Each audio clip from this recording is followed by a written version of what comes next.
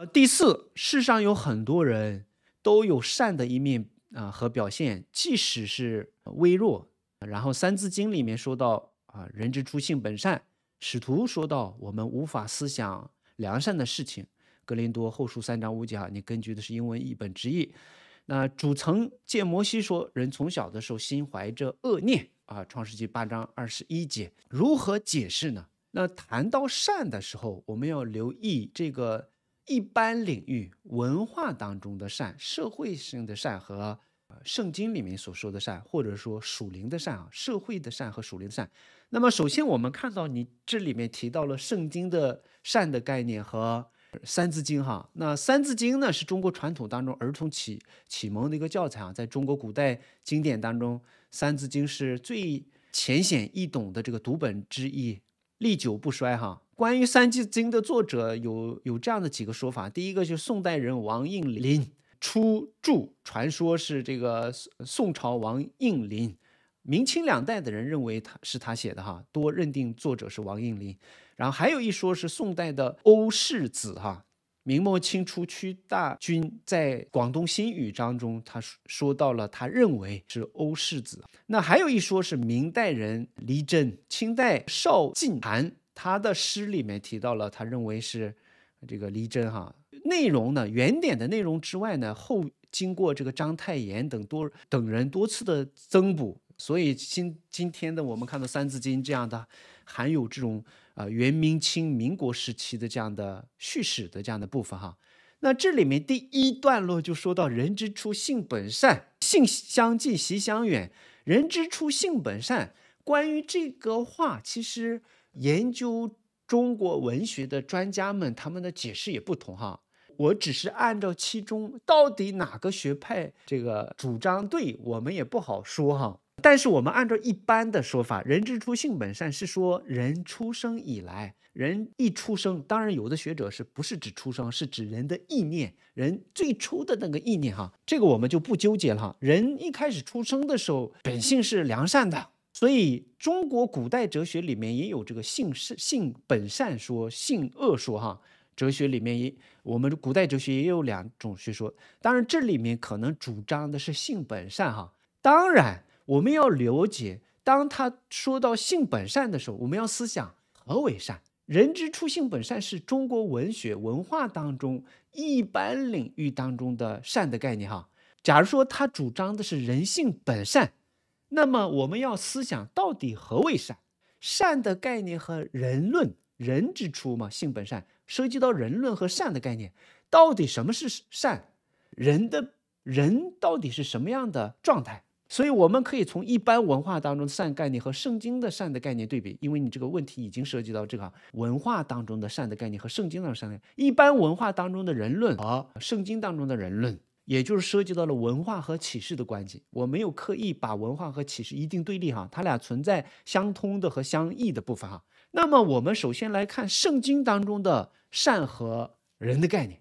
马可福音十章十八节里面出现了个少年的财主来到耶稣的面前要寻求永生，他开口就一方面要彰显一下自己的聪明才智，另一方面却露出自己的愚昧哈，就被耶稣抓住把柄。他说：“呃，良善的夫子，我们做什我做什么才可以得到永生呢？”他一直苦恼永生的方法的问题啊。耶稣就直接问他：“你为何问我以良善问我呢？”呃，其他的共观福音说法不一样。为什么说我是良善呢？除了神以外，没有良善的；除了神以外，没有是善的。因为神是善，神是至善，确实至善哈。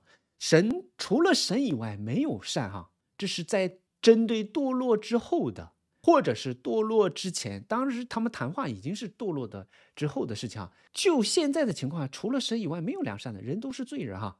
那么神的计划、神的作为、神的计划是受到神的意念哈，神的作为是神的行动，都是善的。为什么？神是善的，出于神的，无论是他的意念还是他的作为，都是善的。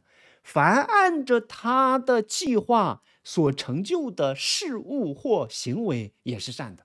注意哈，神是善的，出于神的，他的计划和行为都是善的。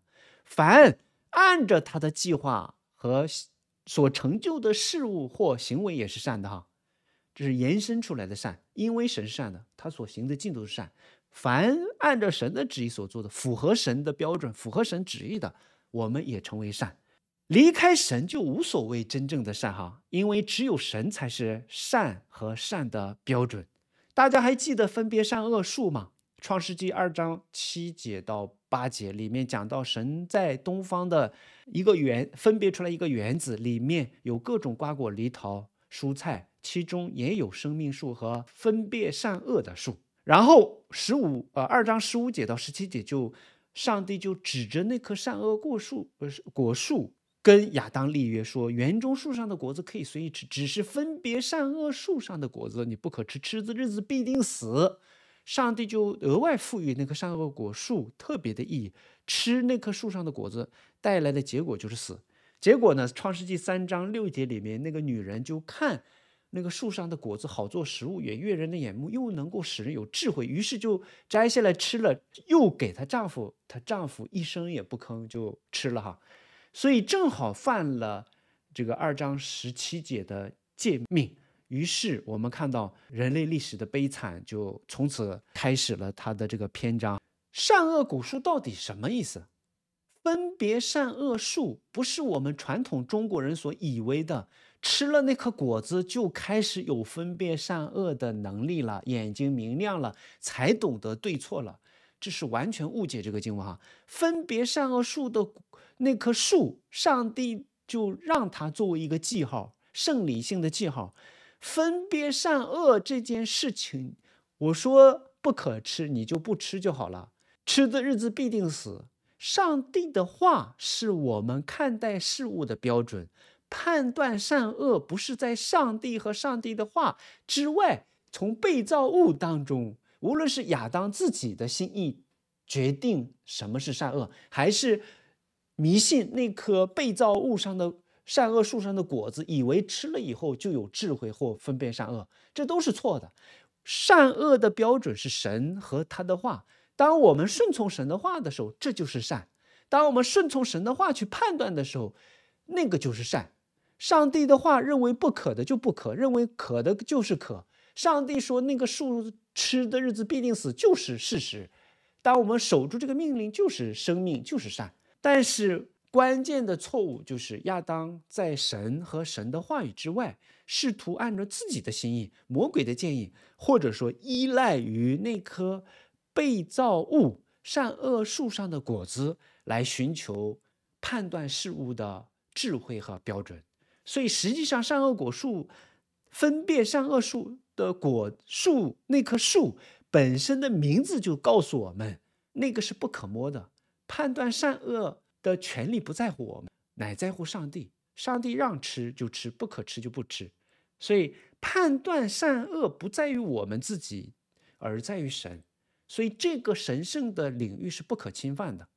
当我们顺从神的时候，就是善。按着神的话去判断的时候，这就是善；按着神的话定罪的时候，就是善；按着神的话称某事物为义的时候，就是义。因为神说这是义，我们说阿门，这叫承认嘛，对不对？我们说认自己的罪，什么叫认自己罪？不只是告白，而是与神说一样的话。上帝说这个骄傲就是罪，所以我们以为骄傲是一种气质，一种这种一种这个气质，一种自信。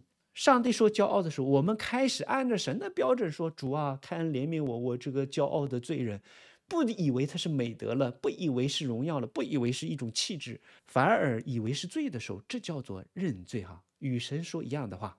所以，当我们被神的真理光照的时候，我们开始认识到以神的标准来看自己的时候，才发现我是污秽不洁的罪人。以前不会这么觉得哈。所以，真正善恶的标准是神和他的旨意哈。堕落后的人，从本性和心智上就败坏、污染了，不止在认识上丧失了那个绝对的纯洁的善恶标准，虽然残留了一些哈公益的概念、爱的意识等等，全然败坏和堕落，不只是指人无能，没有办法行神所喜悦的事情，也无意愿，因为人的心智败坏了，明知道神就故意背离神，所以。他们不可能，也不愿意行神看为善的事，也不知道何为神善、神看为善的事，已经堕落了嘛，心智已经变得扭曲了，所以也不知道那个真正的善，也不能行神所看为真正善。所以在这里面，我们看到人败坏之后，我们就不可能行神看为属灵的善啊。所以我们在善的概念上区分社会性的善和属灵的善，帮助我们了解，我们堕落的人可以行社会性的善，我们以为认认为的功德，遵守时间，坚守信实，守约，遵守交通规则。尊老爱幼、扶持赈灾、扶持弱势群体等等，这个都是看为善。但是这个善只能是在我们人类社会当中某个圈子里面看为共同认可的好行为善，但是它却不能被神视为善。为什么？在神看为的善，不只要有外在的好的行为，上帝也从三个方面来看。第一个是动机，出于信心和爱心的行为才是善。我做这个事情是因着信，神如此吩咐，所以我因着信神我才做吗？凡不出于信心的都是罪哈。那因着爱神，凡是因着爱神所做的，神因为爱神，所以他愿意顺从神的话嘛。所以出于信心和爱心的动机做的事情才能看为善。缺了这个动机，以信心和爱心为出发点的好行为都不能被称为善啊。所以这是第一个条件，第二个目的不只是出于信心和爱心，也是为了荣耀神。出于信心和爱心，如果不是为了荣耀神，也是不能纯全的。真正的善一定要有真正的善的目的，不是出于自私的，而是真正为着神的荣耀。无论或吃或喝，呃，或起或坐，说话行事为人，都要荣耀神而行。哈，荣耀神是我们被造的目的，创造的目的，救赎的目的。啊，这是第二个目的。第三呢，第二个要素，第三个要素就是原则。你按照什么法则、什么呃要求去做呢？按照神的旨意啊，不是按照人堕落人的这个水平，人认为哇，这个已经不错了，很高了，很了不得的行为了。不是按照神，你们要完全像你们的父完全一样，按着上帝在律法和福音当中启示的那个圣洁的标准，我们要去行啊。所以，一个真正在神的面前看为善的行为，出发点是出出于对神的信心和爱，为了上帝的荣耀，按着上帝的旨意，顺从上帝的旨意，所以才看为善哈。所以，按照这个标准来看的话，不信的人可能会行一些社会性的善，但是他们却无法达到在神眼中看为被称为义、被称为真正意义上的善的那个属灵的善。所以不信的人可以行善，人之初性本善。那我们到底看这个善是什么善呢？按照圣经的标准，文化当中，因为文化的缘故，我们之前也呃谈到了，人堕落之后，人对上帝普通启示的回应里面，堕落之前也有文化，但那个是不被污染的，完全顺从神的。但是堕落之后，我们人的心智在思想在。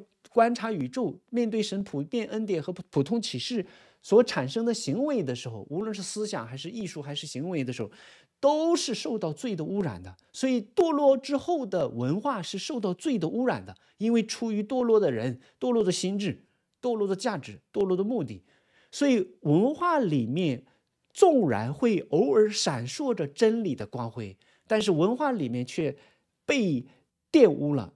沾着罪性的污染，所以文化里面会带有不完全的概念、错误的概念。人之初性本善是一个典型的，就是乐观的人论，以为人真的是良善，人出生的时候就像一张白纸。后来是因为随着环境的影响，人开始渐渐学坏的哈。这个是人堕落的人对人自身不足够的认识的一种乐观的妄想啊，所以。大家遇到这种类似文化当中概念的时候，第一方面要欣赏文化、认可文化，另一方面要批判性的去啊接受哈。有一些我们传统文化当中很多是接近真理的、很伟大的人类的思想的精华，这是神在普遍恩典当中对人类堕落的人类、没有福音的人类的护理，让人维维持某种文明和社会秩序，为了人的益处。但是按照福音的真理，更纯净的。日光神的真光照耀的时候，就发现这里面有很多糟粕和可弃的地方。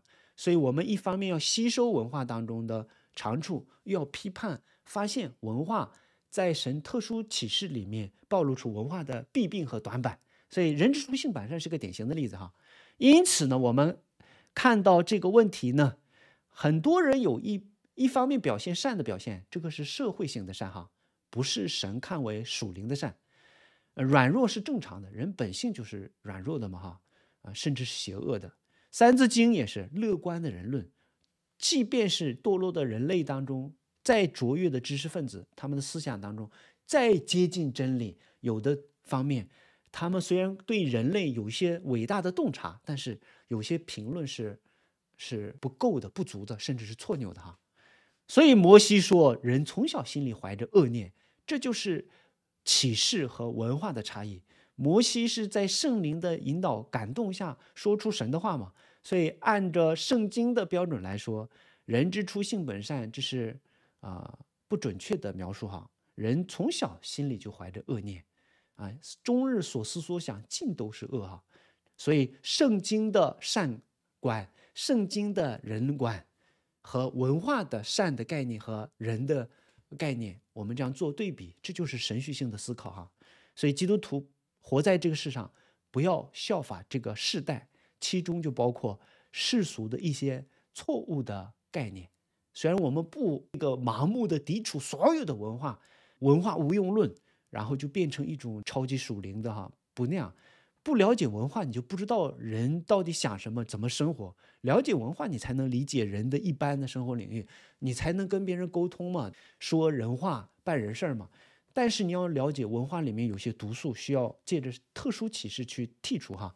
所以这种启示的超越性，启示在文化里面，但是启示又超越文化，所以以启示为标准去分辨文化当中的糟粕，这是我们基督徒一生要从事的工作哈。